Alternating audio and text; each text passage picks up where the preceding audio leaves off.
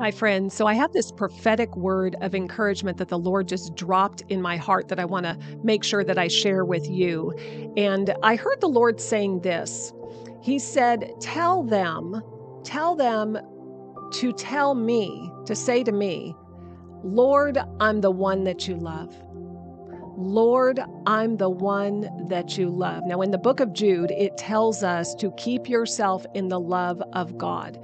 And for some of you, I know that is going to feel so uncomfortable to say, Thank you, Lord, that I'm the one that you love, to just really identify yourself as the one that He loves but it is so necessary. And let, let me just tell you, when you do, you're in good company because the apostle John, John the Apostle, in the book of John, identifies himself, right, as the disciple whom Jesus loved. And he was the one who leaned against the chest of Jesus and heard the heartbeat of Jesus.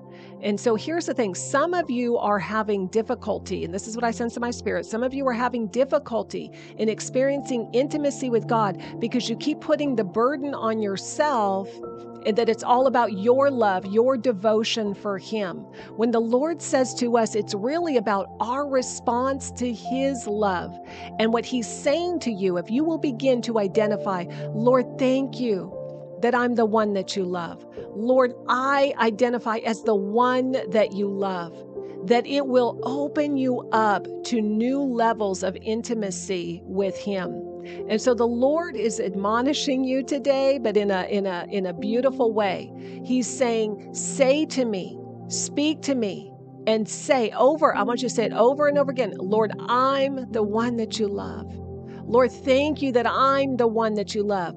Because what happens is, is the enemy puts a lot of doubt and shame and condemnation on us, and it hinders us from being able to go deeper and experience more with him. But if we will remember, it is about our response to his love for us that matters most. And what happens is you begin to identify that way it's going to dismantle these lies of the enemy and it's going to bring you into greater measures of the blessings and the provisions and the beauty of his love for you because we often are, are our own worst enemy. So I just had the Lord just drop this in my spirit for you. He says, Tell them to say, I'm the one that you love. Lord, thank you that I'm the one that you love. And I just prophesy over you today that in the name of Jesus, you're going to be going into greater depths and, and broader measures of his great love for you. He's about ready to take you into some deeper waters of his love. He's about ready to release you into some greater blessings that come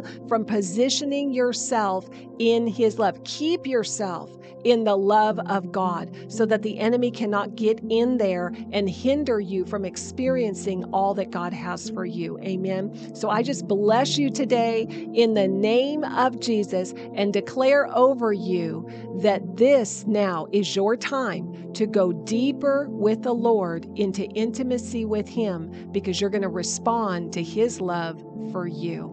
God bless you.